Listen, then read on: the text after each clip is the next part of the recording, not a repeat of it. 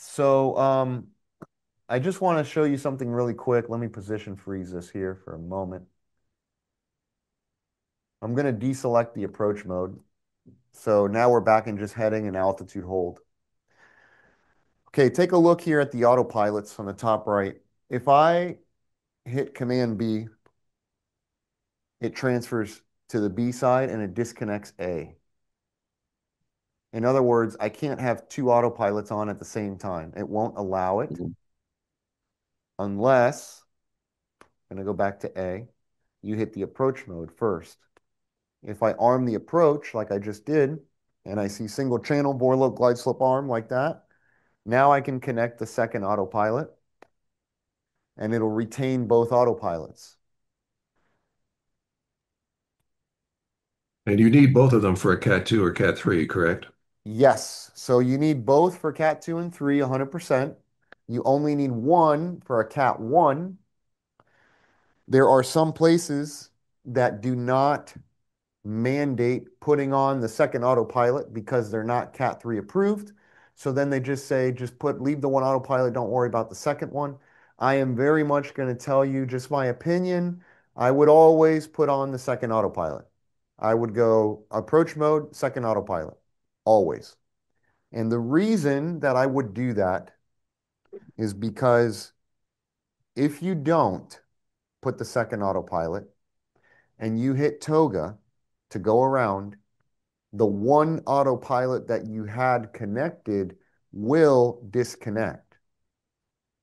The toga selection disconnects the autopilot if you have only one autopilot connected. If I have two autopilots connected and I push toga, it retains both autopilots and the airplane will fly the go around for me and I will not have to fly it hand flown. So I do advocate for that. And there's nothing wrong with it either because in the QRH, which is behind me here, there's a um, section titled Perform uh, Maneuvers, Flight Patterns, ILS Approach. QRH, Maneuvers, Flight Patterns, ILS Approach. And it does specifically say that when I'm cleared for the approach, second autopilot command, dual autopilot. I can put the second one on. It has a note, dual autopilot available during two engine approach only. That's fine. We're doing a two engine approach. So this goes back to what Miguel said earlier. Can it, can it do an auto go around single engine? No, because in order to do an auto go around, I need two autopilots. And in order to use two autopilots, I need two engines. And so if I'm single engine, it won't do it. So you're going to have to hand fly the single engine ILS. However, fortunately, we're normally doing normal two engine operations. And I would say put on the second autopilot always, in my opinion, because it works better, lasts a long time, it's less workload, it is reliable, and it's backed up by the QRH. There's no reason not to put two on, in my opinion. I mean, And the reason it automatically, Yeah, and the reason, reason it au- automatically will do the go around is because that's programmed into the CDU, uh, and it, it LNAV and VNAV will take it from there. Is that correct? Okay, so uh, uh, something like LNAV and VNAV will very much take it. Um, you have uh, what is referred to as auto acceleration, which we're going to see. Auto acceleration, it's not it's not exactly LNAV VNAV because you'll see the modes LNAV VNAV are not engaged, but it's comparable to it in that it will accelerate you automatically the same way VNAV would. Uh, and as far as lateral guidance, it'll just track runway heading until you put something else in there for it to track. So it's not exactly that, but it's pretty comparable to that. Got it. Yeah. Um, okay, so we put so I got the second autopilot on. That's how I would advise flying this. And um, what I want you to, to see is that despite the fact that there's now two autopilots, it still says single channel, even though we technically have dual channel. So the single channel is going to stay there until the self-test. which we learned about yesterday. The self-test happens at 1,500 feet. There's VOR/LOC capture. Heading to course is the call. So I'm going to take my heading bug on the MCP that you can see, and I'm going to rotate it to the inbound course. Airplane's turning to capture the localizer now.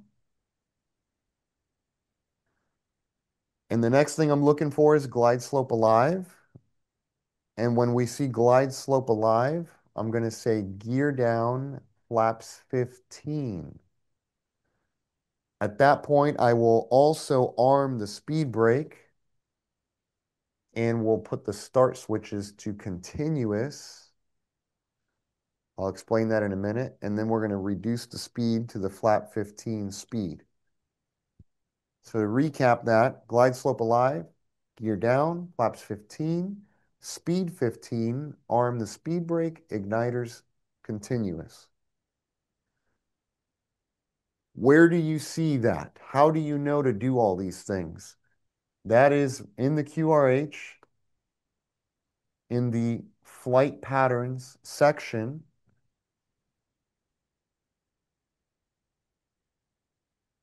Glide slope alive, gear down, flat 15, arm speed brake. That's where you see that. This one doesn't say start switch is continuous because the QRH, remember, is airplane specific. And this one is actually for an airplane that has auto ignition. So the igniters automatically activate with engine rollback. So you don't have to put the continuous there. Uh, so, and let me talk about that here for a second. I'm going to accelerate this just a bit to get glide slope alive. There we go. Okay. Flight frozen, the glide slope's alive. The diamond has filled in magenta. This is where we would call gear down flaps 15. In the 320, the ignition or the igniters fire continuously when the flaps are extended. Why is it important to have ignition continuously? Because we're low to the ground and we're coming into a critical phase of flight. There's two of the two times here. Takeoff and go around, we're low to the ground, critical phase of flight. The engine is protecting itself because the engine, honestly, a jet engine, think of a jet engine like a barbecue, a propane barbecue. A propane barbecue, you turn on the gas, you light it once, the flame propagates, meaning it continues to burn, and you don't have to keep lighting it over and over and over again. Once it's burning, it's burning. So this is a jet engine. A jet engine is like this. We have air, we have gas, the igniter lights it, and then it ignites, and then the igniter is no longer needed because it just continuously burns. The problem is if you open up the grill and take a bucket of water and dump it on it, you're going to turn you're going to extinguish the flame. Mm. Now, if you go try to ignite it again, as long as the gas is still on and you put the lighter to it, it's probably going to turn back on again. So when we're taking off and we're landing, we have the igniters on firing continuously. Even though they don't need to be, we always have them on firing continuously in case our barbecue flames out, it can relight itself automatically because it has ignition firing all the time. In the 320, when you put the flaps out, the airplane says flaps are out. The only time they go out is for landing. They must be landing ignition continuous to protect the engines, and it does it for you. In the Boeing, it's manual, and it doesn't do that, which is why now at glide slope alive, gear down, flaps 15, we have to put the start switches to continuous, meaning continuous ignition to protect our engines. Does that make sense? Okay, toga is on either your pointer, your middle, or your pointer finger. There's two buttons there. You can push either one. Mm -hmm. The auto throttle disconnect is on your thumb and your pinky. Do not confuse the auto throttle disconnect for toga. This is a big problem for pilots coming from the Gulfstream. Apparently, the Gulfstream has toga on the side. So every pilot I've trained from a Gulfstream transitioning to the 7.3, They go around and they hit the auto throttle disconnect. They pitch up to go around. And now they have disconnected the auto throttle without go around thrust and they pitch up and the airspeed bleeds off. This is the button. On the approach, be ready to go around. Just expect that you're going to go around every approach. That's the way you approach. I'm going around. every single approach. This is going to be a go around. I just stick that expectation in my head. If you get all the way down to the runway at flare height and I can't figure out any reason to go around, then I'm just going to be like, okay, I guess I'll just flare then and land. But the mindset is very much go around, and I have the call outs in the tip of my tongue. Go around flat 15. Go around flat I'm just ready for it.